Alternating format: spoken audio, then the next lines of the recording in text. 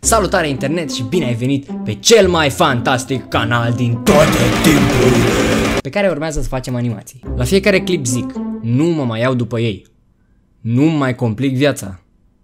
O să fac ceva mai simplu. Așa că astăzi m-am gândit să animez în Photoshop. Am fost surprins să văd că cineva chiar mi-a propus chestia asta. O să apară comentariul lui chiar aici, unde fac eu semn cu mâinile, pentru că, după cum știți, sau ar trebui să știți, Photoshop nu e un program de animație, ci e un program de prelucrare și manipulare foto. Doar că eu o să încerc să animez în el. Bun, fără să ne mai zbatem foarte tare în mocila asta în care ne-am afundat atât de rău, atât, n-am, n-am nimic altceva să zic.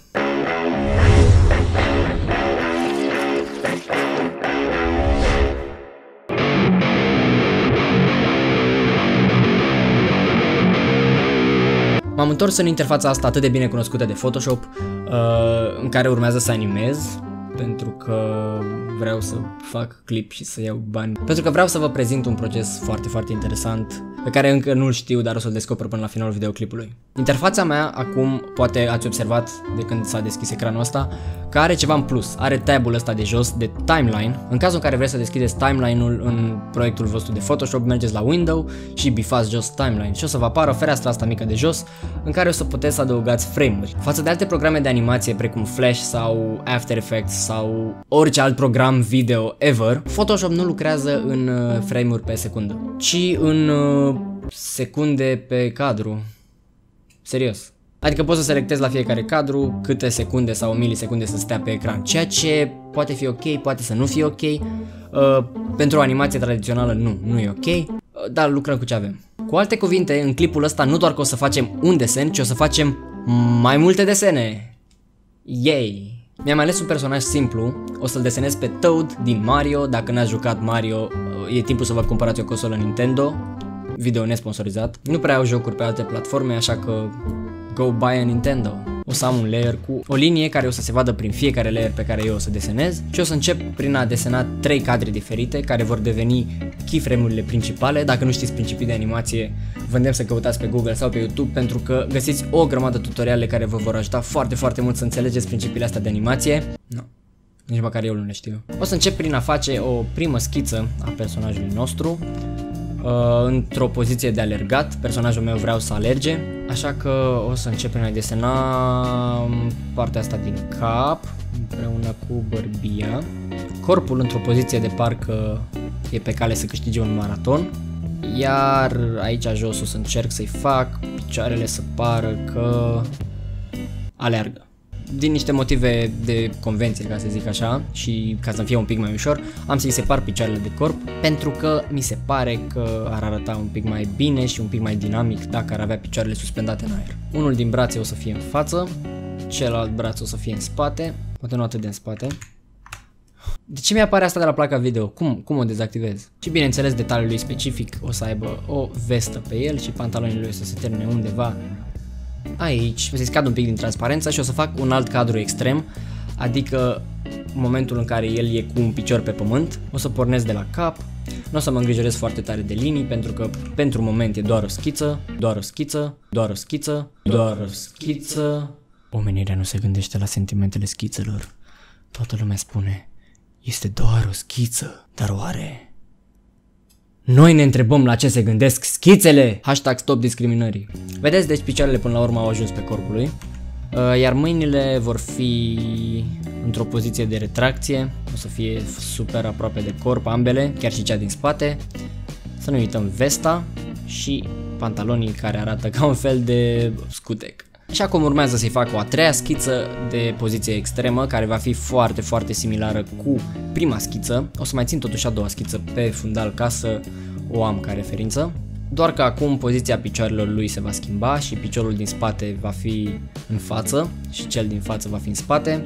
Oricum poziția e una destul de similară, aș fi putut să folosesc același frame și doar să schimb câteva chestii aici colea, dar am preferat să-l desenez de la zero pentru că ăsta e cumva stilul meu de animație o să introduc câte un keyframe cu fiecare cadru pe care o să-l fac să stea, să zicem, 0,5 secunde și o să-i dau play. Și hai să urmărim animația pe care am creat-o, yay! Și personajul nostru cumva a început să alerge. Fantastic! Aplauze! O să încerc să desenez câteva cadre intermediare. Primul picior o să se găsească fix între picioarele astea două de aici. de e bine să lucrăm cu transparență, pentru că și programele de animat au funcții de genul ăsta, care se numesc Onion Skin și poți să vezi ce e înainte și după, doar că în Photoshop trebuie să lucrezi pe leere. Mâinile vor fi în poziția, fix poziția din centru și pentru un pic de dinamism pot efectiv să fac mâna lungă, să o întind așa foarte interesant încât să nu mai am nevoie să fac un cadru intermediar pentru că o să dea ideea de mișcare. Între frame-urile 2 și 3 o să desenez doar așa estimativ poziția capului, un picior foarte foarte ridicat, care o să dea senzația că face așa, pentru că picioarele când alergi nu merg așa drepte, ci pur și simplu merg în formă de semicerc. Mâinile nu o să schimbe foarte, cel puțin asta nu o să schimbe foarte tare poziția, văd că stă foarte mult în același loc cam ca mine. O să fac în continuare chestia asta până termin toate cadrele astea intermediare.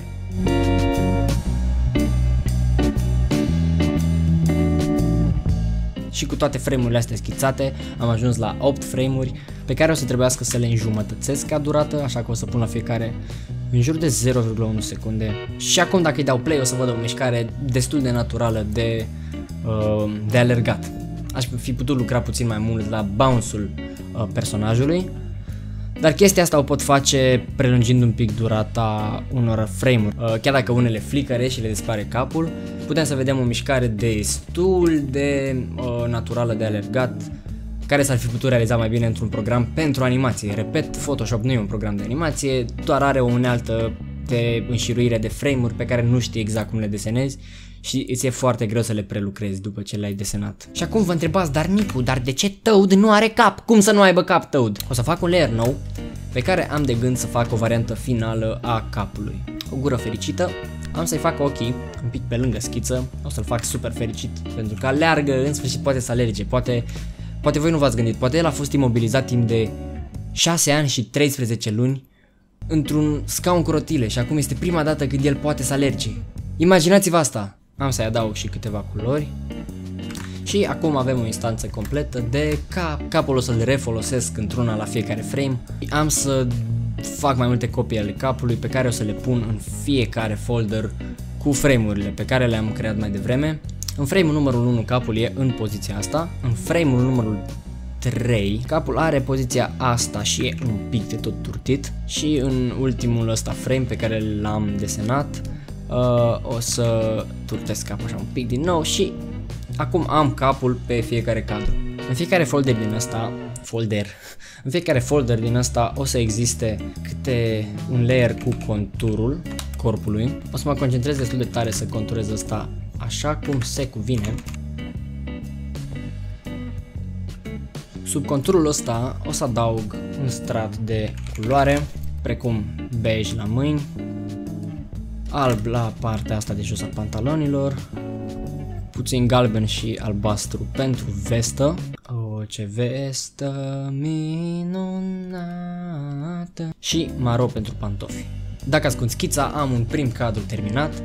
Uh, urmează să fac exact, exact același lucru pentru celelalte cadre. În fiecare folder să poziționez câte un layer de contur și unul de culoare.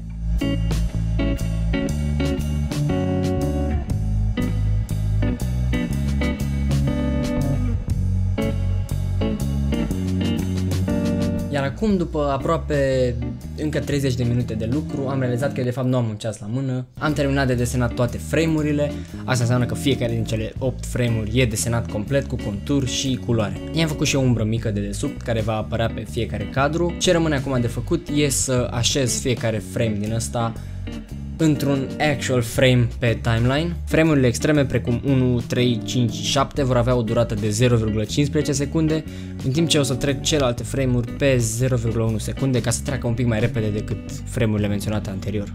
Iar acum, dacă dau play, rulează pe ecran o animație făcută în totalitate în Photoshop. Mersi frumos celor care au urmărit videoclipul ăsta până la capăt, chiar și celor care nu l-au urmărit până la capăt, pentru că pentru voi fac ceea ce fac și vă mulțumesc din tot sufletul. Înainte să pleci, nu uita să apeși butonul ăla cu degetul mare în sus ca să-mi propulsezi videoclipul în secțiunea de recomandate a altor persoane. Pentru mai multe desene, urmărește în profilul de Instagram pe care îl găsești în descriere, abonează-te ca să primești clipurile atunci când le postez. Am mai rămas să zic ceva?